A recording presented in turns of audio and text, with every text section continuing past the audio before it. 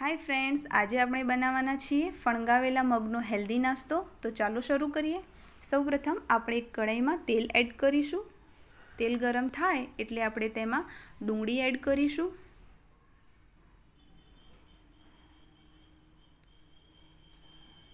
ડુંગળીને આપણે ગુલાબી રંગની થાય ત્યાં સુધી સાતળી લઈશું. હવે આપણે તેમાં લીલા મરચાં અને મીઠું લીમડું એડ કરીશું.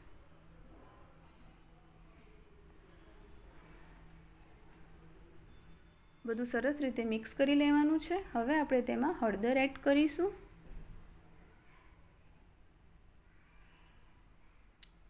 ફણગાવેલા મગ એડ કરીશું.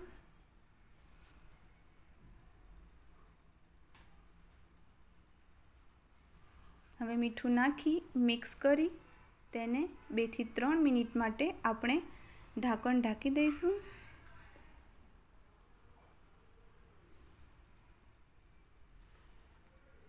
હવે આપણે ચેક કરી લઈએ. તો તૈયાર છે આપણા મગ. તો હવે આપણે કોથમીર નાખી તેને સર્વ કરીએ.